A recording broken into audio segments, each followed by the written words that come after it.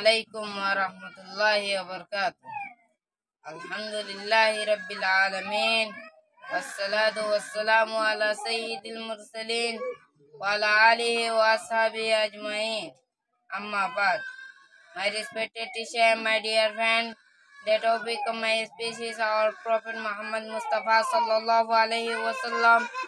There are a lot of prophets, but Prophet Muhammad Mustafa sallallahu alaihi wasallam is the last messenger of Allah. There is no prophet after him because Islam is completed by his arrival. He was born in the clan in Makkah. His father had passed away before his birthday, and he lost his mother at the age of six. During that period, Makkah was dominated by bad people. But Prophet Muhammad Mustafa sallallahu alaihi wasallam was a well-known individual from childhood. People in Makkah called Al-Amin, which is meant trustworthy. Allah selected him as his last messenger at the age of 14, and he spent 13 years in Makkah. Then he went to Medina at the age of 53, and he spent there the last the last 10 years in his life.